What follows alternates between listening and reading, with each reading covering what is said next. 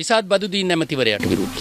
උන්වහන්සේම තමයි විශ්වාස භංගය ගෙනල්ලා තියෙන්නේ. විශ්වාස භංගය වෙනුවෙන් 16 17 දෙක දින නියම කරලා තියෙනවා පාර්ලිමේන්තුව තුල. ඒ විතරක් නෙමෙයි අපි තේරීම් කාර්ක සභාවකුත් පත් කළා. ඒක දැන් ක්‍රියාත්මක වෙනක යට ගහලා නැහැ. මේ සියලු දේවල් ක්‍රියාත්මක වෙද්දී මට තේරෙන්නේ නැහැ අපේ හාමුදුරුවෝ අර විමල් වීරවංශගේ නාට්‍ය රංගනයට වගේ දෙයක් කරන්න ලෑස්ති වෙනවද කියලා. අපිට උන්වහන්සේ ඉදිරිපත් කරපු විශ්වාස භංගෙම ජයග්‍රහණය කරවන්න පුළුවන්ද කියන එක පිළිබඳ උන්වහන්සේගේම විශ්වාසයක් නැති වෙලා තියෙන ඒක නිසා තමයි අද මේ නොඑක් විදිහේ දේවල් කරන්න අද පෙළඹිලා